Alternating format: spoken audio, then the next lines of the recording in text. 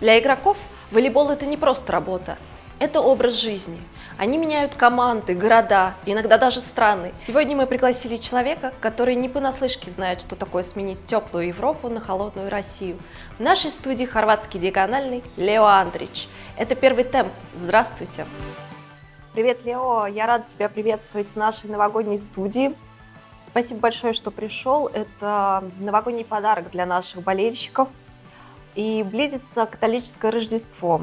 Расскажи, пожалуйста, как ты будешь отмечать, и есть ли у тебя рождественское настроение? Привет, uh, I'm happy to be here because I know that this is uh, for our fans. Uh, yes, I have Christmas holidays and I go home. Luckily, I get few days free, so I go home to my family and uh, I will enjoy as much as I can my time. И я не могу не спросить, как ты себя чувствуешь в России? Ведь европейская зима достаточно теплая. Здесь э, холодно, и вы едете в длительные поездки. Как тебе? Uh, yes, it's quite different than uh, the weather here than where I was before. It's uh, much colder, definitely. Uh, especially our trips on the north. It's really, really cold, but uh, I think I'm getting used to it. Uh, I have really warm clothes with me, so I'm good. Скажи, пожалуйста, как тебе наш город Нижний Новгород? А, Я думаю, что ты уже, наверное, побывал в каких-то местах, может быть, тебе что-то запомнилось в центре города, например. Uh, well, honestly, I didn't have much time to go around, but when I arrived uh, at the beginning, I go a little bit in the center. I go to Kremlin, right?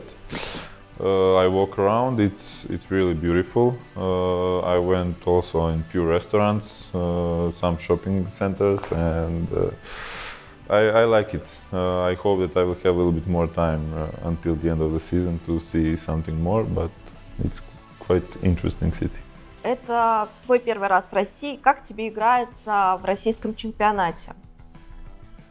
Yes, it's my first time in Russian Russian Championship, uh, and it's really interesting games. Every game is very difficult. You need to be 100% ready, and I like it a lot. Uh, I'm really satisfied that I came here.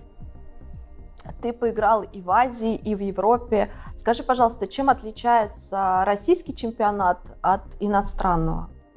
Well, here there is a lot of big long trips, so it's quite difficult to get used for the time zones for the games sometimes. Uh, and also it's big blocks uh, during the game, but uh, the rest it's quite similar with the rest of the leagues that I played before. Волейболисты много путешествуют, и э, ты тоже посетил много стран. Какая именно тебе больше всего запомнилась, понравилась и почему? Yes, I was in many different countries uh, from the beginning of my career, and I have really good experience from all of them, let's say. Uh, but the best for me, I think I would say Greece. It's really good life, warm weather where I was there. Yes, uh, I liked Italy a lot, food, uh, pizza, spaghetti. Yes, yes. And uh, Korea was really interesting expe- experience for me.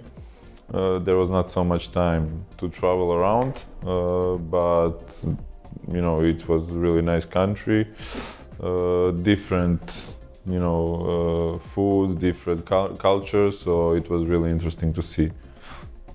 Давай поговорим о тебе и расскажи, пожалуйста, как началась твоя профессиональная карьера волейболиста, наверное, с детского, да, волейбола? Uh, so yeah, I start very early with uh, volleyball. I was like around 12 years old. I was playing all the time at my grandfather' place with my family, but then I start in the primary school uh, to start to train, and I started because of my father because he play, was player before. I was going on his, his practice all, all the time, and I just loved the sport.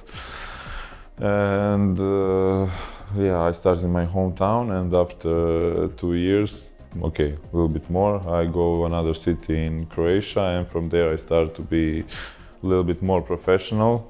Uh, and uh, after many years, yeah, I am here right now, uh, playing in Russia. Скажи, пожалуйста, почему ты выбрал именно 14 номер? Well, uh, every year almost I have different mm, because on the beginning I start with I think 16, then 15, then 13, then 14. It depends in the clubs uh, which number is free. So there is not any special reason, but I just like like these numbers. Скажи, пожалуйста, как ты психологически готовишься к играм? Ведь есть какие-то, может быть, э, какие-то приемы, которые тебя настраивают на игру? Uh, well, definitely on the game day, I try to rest good after the morning practice and uh, eat good because I need a lot of energy for the game. And I like to listen to music before and try to stay focused for the game and prepare tactical stuff to be ready for the opponent team. Скажи, как ты тогда берешь себя в руки, когда, ну, например, происходит спад какой-то, может быть, в игре или в настроении? Ведь ты тоже человек, естественно, что спады бывают. Well, yeah, definitely it happened sometime that I go a little bit down with my psychology, uh, especially when I was younger, because, like you said, we are men.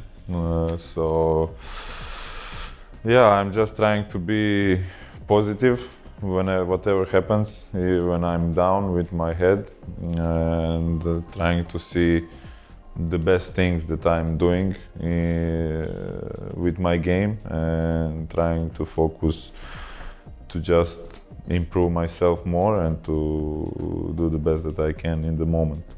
Ты очень хорошо подаешь мяч, это, наверное, твоя коронная фишка. Скажи, пожалуйста, как ты научился? Yes, uh, everybody asks me why I throw the ball so high, and even few coaches they tried to change my way of serving, but it didn't work out. And I just stay with my way because this is how I know and uh, how I feel the best. So the the reason is just that I feel more comfortable when the ball is really high and I have time to come under the ball and to hit really strong. Ты играл со многими связующими, но, наверное, ты выделяешь, может быть, одного, может быть, пару человек, с которыми тебе было более комфортно и больше нравилось играть.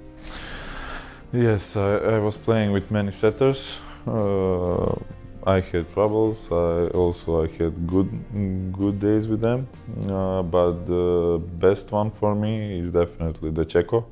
Uh, we played together in Perugia, and yeah, he is magician with uh, his hands. You know, his sets are amazing. So definitely, I would put him on the top of the list, like the best setter for me that I play with.